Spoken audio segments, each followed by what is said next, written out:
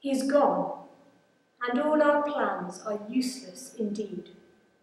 We'll walk no more on Cotswold, where the sheep feed quietly and take no heed. His body that was so quick is not as you knew it, on Severn River under the blue driving our small boat through.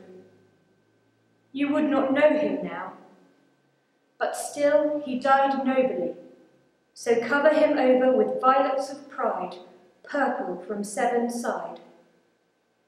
Cover him, cover him soon, and with thick set masses of memoried flowers hide that red wet thing I must somehow forget.